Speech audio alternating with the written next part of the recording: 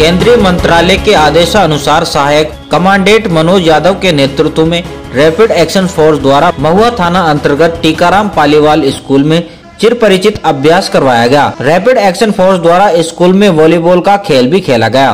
सहायक कमांडो मनोज यादव ने बताया कि परिचित अभ्यास के दौरान इलाके की जनसंख्या साक्षर, निरक्षर, सामुदायिक दृष्टि से संवेदनशील जगहों पर विशिष्ट व्यक्तियों की सुरक्षा तथा बलवानों की सूची तैयार की जाएगी। उन्होंने बताया कि भविष्य में किसी भी प्रकार की कोई प्राकृतिक आपदा या सांप्रदायिक तनाव या दंगे की स्थिति निर्मित होने पर नियंत्रण किया जा सके। उन्होंने बताया कि यह कार्यक्रम दौसा ज़िले में तेरह जनवरी तक चलाया जाएगा। इस दौरान उप पुलिस अधीक्षक राजेंद्र सिंह शेखावत भी मौजूद रहे।